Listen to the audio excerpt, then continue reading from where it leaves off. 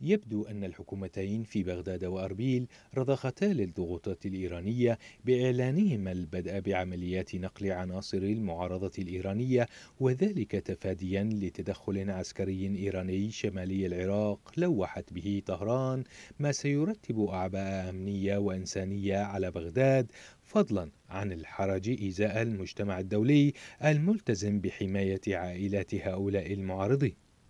نتيجة لذلك باشرت بغداد بتسريع إجراءات تشكيل قوات حرس حدود جديدة من سكان كردستان لتنتشر في المنطقة الحدودية والبحث عن آلية لتسليم المطلوبين الذين نفذوا أعمال عنف داخل إيران وهم موجودون حاليا داخل الأراضي العراقية.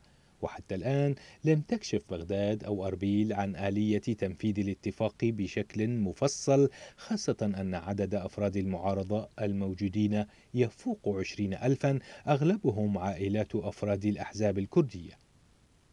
وكان الأمين العام السابق لقوات البشمركة جبار ياور أكد في وقت سابق أن إيران قد تجتاح أراضي كردستان العراق حين تنتهي مهلة التاسع عشر من شهر أيلول الحالي التي حددتها لإجلاء المعارضين الأكراد منها.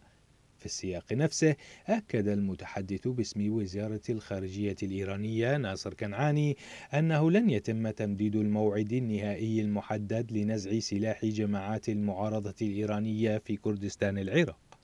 وأعلنت بغداد وطهران نهاية الشهر الماضي توقيع اتفاقية أمنية بين البلدين تقضي بتفكيك معسكرات المعارضة الكردية الإيرانية الموجودة في كردستان العراق على الحدود مع إيران.